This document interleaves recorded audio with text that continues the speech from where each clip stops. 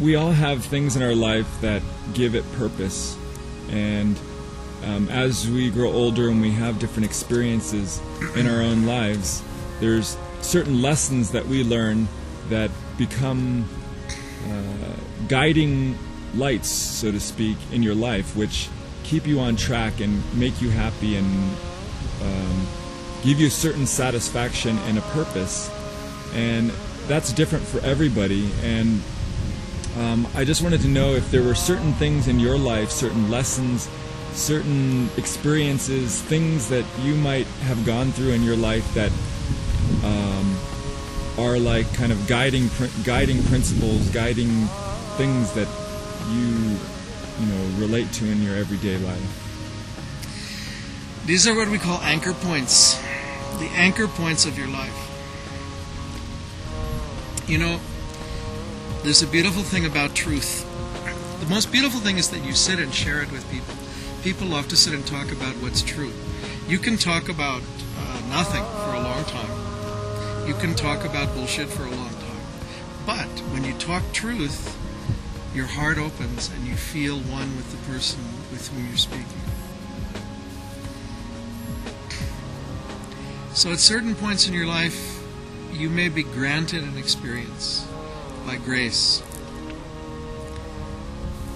And that experience anchors itself so deeply in your consciousness that it becomes a touchstone, an anchor point for your entire existence. And for me, I remember those anchor points very clearly. First one was when I first experienced in my own consciousness that I was not of this earth, that I belong to the heavens, that I come from the heavens, that I return to the heavens, and that this earth is very temporary and is here to be enjoyed to the fullest and to leave the imprint of your consciousness and creativity behind you for others to enjoy and taste. And that experience came through my own meditation. Second was when I met my spiritual teacher, Yogi Bhajan. And I had no idea what a spiritual teacher was. And at that time, we didn't have Guru Granth Sahib. We didn't have Gurudwara. We were just learning yoga and learning to meditate. But I understood in a flash what it means, the relationship between student and teacher, and how you move beyond the experience of your environments and your parents to the next stage of your growth and enlightenment as a human. Because the job of a spiritual teacher is to chisel you and cut away all the dark parts and cut away all the useless parts and cut away all the things that are blocking you so that your light can just shine.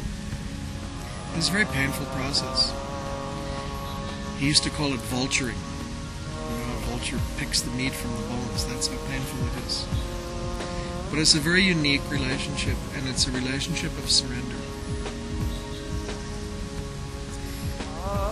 Next turning point in my life was, anchor point was, when I did a yoga class one day, I was in, sitting in a park in Santa Fe, New Mexico. I didn't know anything about Sikhi. And at the end of the meditation, at the end of the class, we did a meditation, and I closed my eyes. And immediately I saw in front of me these golden doors. And they were so beautiful, the golden doors opened. And I walked through the golden doors, and behind the golden doors was a golden throne. And sitting in a golden throne was a man with a very long beard and a very beautiful, beautiful face. And he was so calm and full of love and peace. And he beckoned to me. And I walked up to him, and he kept beckoning to me, and he sat me on his lap. And he put his arms around me, and he hugged me. And in that hug came a feeling of peace that there are no words to describe. And a feeling, an understanding that I was guided in my life, protected in my life, and brought to this moment in my life by this loving being. And so after the meditation, I went up to the yoga teacher who was sitting on a sheepskin on the grass park. I said, uh, "Oh, I had this did this meditation. I saw this gold doors and everything. I don't know who, is this person. I don't know what this is. I never saw anything like this." And he said, "That's Guru Ramdas." I didn't know who Guru Ramdas was. I said, "Who's Guru Ramdas?"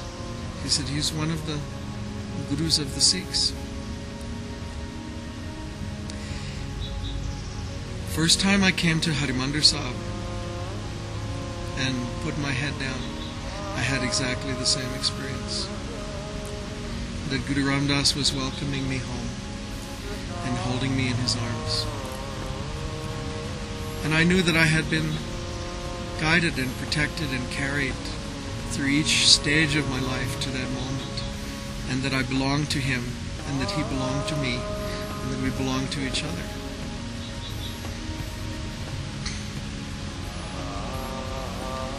So I could go on and on, but I just want to say that the basic thing, the thing you check with to say, is this reality or is this illusion? The thing you use to base your decisions on, should I make this choice or that choice? Those things are very fundamental and intimate experiences that are your personal experiences.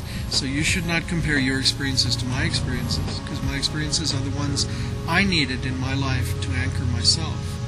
But the experiences that you need to anchor yourself, Guru will give you those experiences, and they will be your experiences. And as difficult as it is to express in words what those experiences are, they become the pivot points that determine